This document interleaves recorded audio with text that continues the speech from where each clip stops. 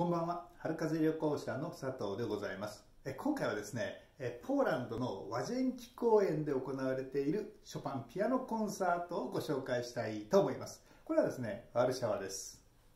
えーとですねまあ、ポーランドはここの辺りですね。そろそろ場所も覚えていただければ嬉しいなと思います。ドイツの西側です。でですねえー、こちらワルシャワのまあ地図なんですけれどもこの赤いマーカーがあるところがワジェンキ公園という公園なんですね。このワジェンキ公園という公園ではですね非常に多分ワルシャワの中で一番大きな公園だと思います。このワジェンキという言葉なんですね。これ、まあ、ポーランド語ワジェンキって読むんですけど、まあ、ちょっと難しいですよね。この L, L に似たようなものに A がついてこれをまあ、普通だからラと読みますよね。そこを和と読むので、まあ、ポーランドの発音はちょっと難しいですね。で意味としてはお風呂です。でですね、どうしてあの公園がそのいわゆるお風呂お風呂公園になっているのかということなんですけども本当だったら例えばあのポーランドを建国した人の名前を付けるとかですねこう有名な大統領の名前を付けるとかっていうのが、まあ、そういうことはあるもしくはその地名を付けるっていうのもあると思うんですけども実はですねあの公園17世紀にできた時にそのそのすぐ近くにですね温浴施設があったんですね。でその温浴施設から名前を取ったので、まあ、お風呂ですね。お風呂の施設から名前を取ったのでお風呂公園。ちょっと日本語では言いにくいですけれども、まあ、和ジェンキ公園というふうな名前になったんですね。でですねこれがその和ジェンキ公園のまあ全容なんですけれどもこの赤いマーカーがあるところがまあショパン公園ショパンのですねそのまあ公演、えー、ピアノコンサートがある場所なんですね。でそこにあるものはですねショパン像まあ、ショパンの像があるわけです。それがですね、こちらなんですね。で、この、まあ、銅像なんですけれども、まあ、ショパンが座っていて、でその上にですね、こう柳がこうかかっているように見えているんですけれども、その柳がですね、このピアノを弾く指のようにも見えるっていうですね、非常に微妙な、まあ、あの素晴らしい銅像を作っているわけですね。で、そのすぐ下でこうちょっと黄色いですね、ターフの屋根みたいなものがありますけれども、まあ、夏なのでちょっと暑いので、そこの下にピアノがあって、そこでまコンサートを開くわけです。コンサートというか、まあ、ピアノを演奏するわけですね。もちろんショパンの曲だけですよ。でですね、まあ、そのを見ていただければ分かるんですけど、すぐ目の前にこう池があってそのほとりにこう座ってらっしゃる方がいるのでもちろんこれは野外コンサートなんですけれども全くの無料ですですね、全体的な感じで見るとこんな感じなんですね。で弾いてみるとですねこう皆さん座ってらっしゃってちょっとくつろいでそしてあのピアノのコンサートを聴いてらっしゃる。でですねこの距離だとまあほとんど聞こえなくなってしまうので、まあ、この辺りあのスピーカーがあるのはちょっと黒い箱ですね。これですね。こういうスピーカーなどがあるのをご覧いただけると思うんですけど、まあ、大体どこでもですねある程度の音量で聞けるようにまあ、スピーカーも設置されていて皆さんそのコンサートを楽しんでいらっしゃる。でこのコンサートはですねあの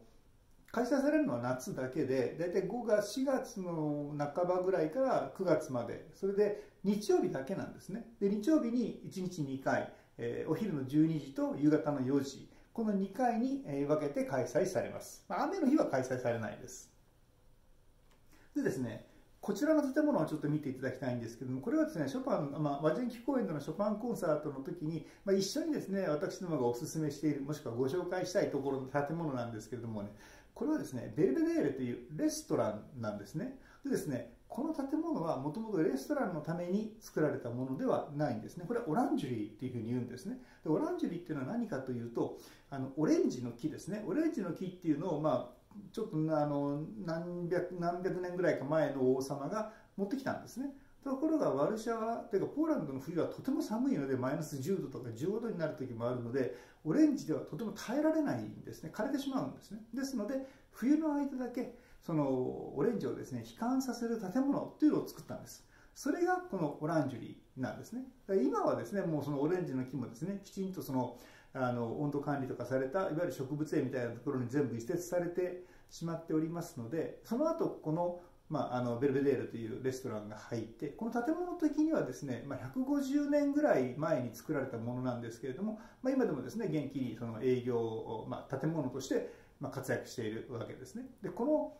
ベルベデールというこの建物の中なんですけども中を見るとまあちょっとこんな感じ、まあ、雰囲気いいですよね。でやっぱりその通りでですねこのレストランやっぱりちょっと高いんですよね、まあ、それなりにこう割と高級なレストランなんですね。でもやっぱりポーランド料理なので出てくる料理はとにかく量が多いんですね。やっぱりあの東旧東欧の国というのは大体大体そうなんですけどやっぱり食べられなかった時期があるのでどうしてもその食事用ではですね比較的多めになってしまうんですね。私もですね、まあ、ここではないんですけれども、まあ、ポーランドで食事をするときにですねやはりですね2皿頼むと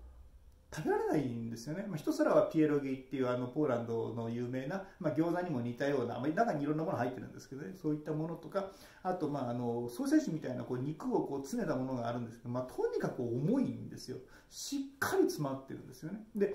あのまあ、ランチを食べて食べられなくてディナーも食べて食べ食べられなくて翌日からですねあの食べられないからその日本人にはちょっと量が多いので少なくしてくれっていうふうに言ったんですよ。あのはそれぞれ半分ずつぐらいにしてくれって言った。ら分かった分かったって言ってお店の人が言ってですね。で出てきた料理は全く同じ量が出てきたというですね。やっぱりとにかく食べろっていうのがやっぱりポーランド人の人のこのホスピタリティなんでしょうね、えー、量は量はとてもあるんですけども味はとても美味しいんですよ。でも食べられないです。でですね、まあ、こうやってですね、あのまあ、ポーランドの人はウォッカも大好きですし、いろんなお酒も飲まれます。で、えー、お食事を楽しまれた後ですね、例えばここでショパン像のところで、えー、ショパンを聴いていただいて、まあ、終わるのがね、夕方だと5時とか5時半ぐらいなんですけれども、まあ、その後ですね、えー、そのベルベデールの方に行かれてもすぐ歩いて1分か2分、もうちょっとかかるかな、3分ぐらいのところにあるので、このすぐ南側ですね。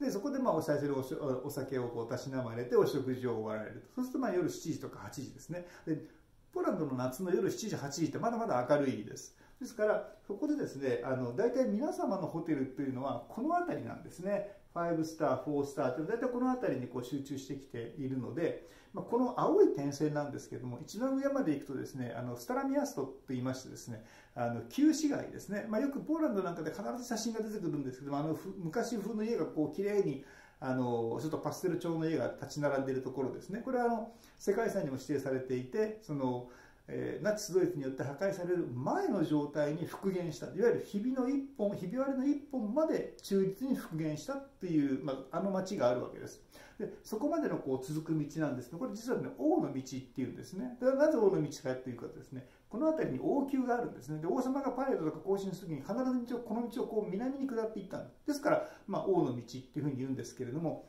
まあ、ホテルにお帰りになるまでの間に